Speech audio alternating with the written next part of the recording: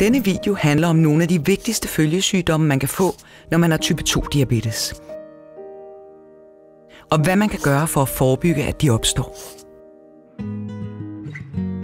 At have type 2-diabetes betyder, at man har en større risiko for at have både et højt blodsukker, forhøjet blodtryk og kolesterol. Det er en usund kombination, som kan føre til skader i de store og de små blodkar. Skaderne i de store blodkar er dem, der optræder hyppigst ved type 2-diabetes. Der kan blandt andet ske forsnævring af karne, og det skyldes, at fedtstoffer i blodet sætter sig fast på indersiden af blodkarne.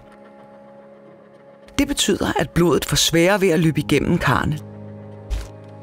Det giver et dårligere blodomløb i hele kroppen og øger risikoen for at få blodpropper. Jo højere blodsukker, blodtryk og kolesterol man har, desto hurtigere opstår forsnævringerne i blodkarrene. Og så er der de små blodkar. Vi har nogle meget fine blodkar i øjnene, som er særligt følsomme over for højt blodsukker. Efter mange år med type 2-diabetes medfører det høje blodsukker, at blodkarrene kan tage skade. Det kan blandt andet føre til forandringer i øjnene, og hos meget få personer kan det give nedsat syn.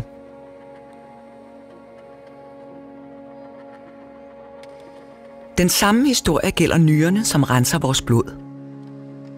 Her løber blodet igennem helt fine blodkar, som også over tid tager skade af højt blodsukker. Det kan betyde, at nyrerne langsomt mister deres evne til at rense blodet. Og så er der nerverne, der også kan tage skade. Det er særligt de længste nervebaner, som er udsatte – man kan derfor blandt andet miste følesansen i fødderne, og det øger risikoen for at udvikle fodsår.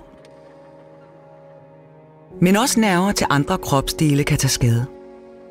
For eksempel dem, der går til hjertet, tarmene, blæren, kønsorganerne og huden.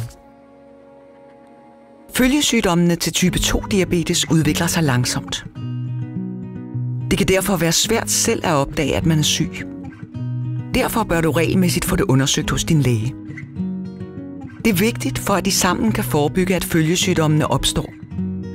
Og at de opdages i tide, så behandlingen kan sættes i gang.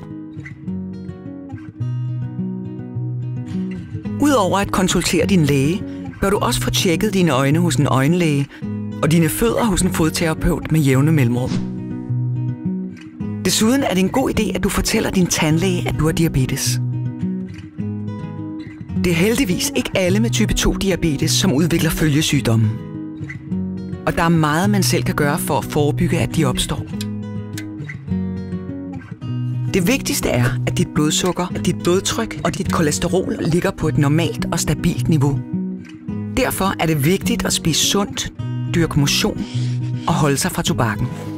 Endelig er det vigtigt, at du tager den medicin, som lægen udskriver til dig. Den har nemlig også stor betydning for at forebygge, at følgesygdommene opstår. Du kan læse mere om følgesygdommen til type 2 diabetes på videnscenterfordiabetes.dk. Tak fordi du kiggede med.